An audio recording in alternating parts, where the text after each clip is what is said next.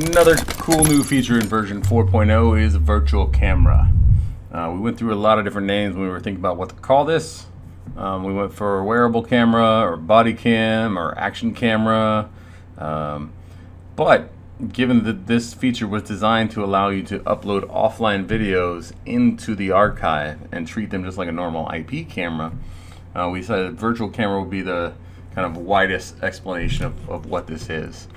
Um, so how the virtual camera feature works is uh, you go to your uh, server. Let me delete this one because I was playing with it a second ago. Go up to the top here, sorry, new. Go to virtual camera. You're going to be asked to pick a server that you want to put this virtual camera on. I'm going to call it desktop. I'm going to name it Tony Phone.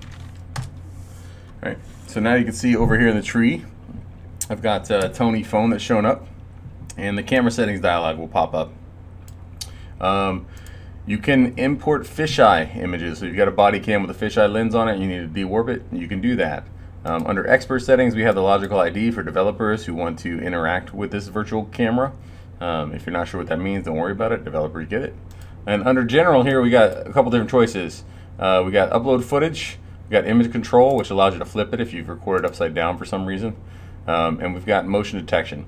So when you're importing a file into a virtual camera, uh, you can detect motion on it um, and then you can uh, apply the same sensitivities as you would on a normal IP camera. So I'm going to leave it as detect motion and sensitivity 5. Um, if, if, obviously, if you got a guard walking around, there's going to be lots of motion. That's basically what this video is. So you can see how it looks. So I go to upload file. I'm going to go to my pictures, and I've got some a phone video that I did, office walk around. I'm going to press open and you're going to see it start to upload into the archive. Now, if you've chosen a server that's remotely, the upload may take a little longer. I've chosen the same uh, computer to upload my footage into, so it's going to be pretty quick.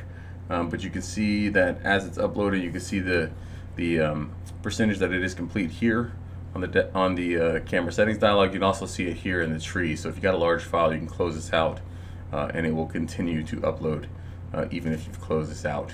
And when it's done, then you'll get a notification that it's done and it's going to read the EXIF data on this video. Um, so that's the uh, the time and the location and all the different metadata that's attached to the video, which is created by the camera that's capturing it. Uh, one very important thing is make sure your time zone on your camera that you're recording with is set to the same time zone as your server uh, and make sure that it's accurate because whatever EXIF data is written into that video file is what's going to be used to place this video on the timeline. Um, one other thing to consider is if you've got multiple cameras or multiple files that you're uploading into the same virtual camera, if they have the same time zone, then you're not going to be able to upload, or time data, you're not going to be able to upload two clips in the same time. Um, so think about that if you've got multiple body cams out there, it's better just to go ahead and create multiple virtual cameras.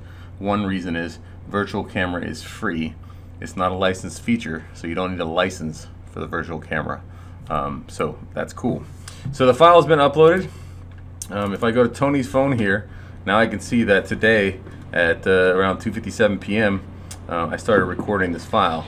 Um, and 16 by 9, obviously I switched it to uh, horizontal. So this is me with my phone walking around the office, kind of showing what's happening, right? So if you think about this, virtual camera is great for like body cams, tours. Um, the, the original kind of reason that we developed this feature was actually for Fukushima uh, nuclear power plant in Japan, where where they were having uh, some issues, uh, and they needed to be able to pull out um, recorded information um, from the uh, from uh, some robotic devices they had going and looking at the the, the scenario there and seeing what was going on uh, inside the old nuclear reactor. So this is the virtual camera feature, uh, completely free. Like I said, to create virtual cameras. Uh, once you've created this this uh, video, you can still now search it for motion and everything else. You can see this is solid motion because, well, I was walking around. Um, but really cool feature, available in version 4.0. Download it and give this a try, and tell us what you think.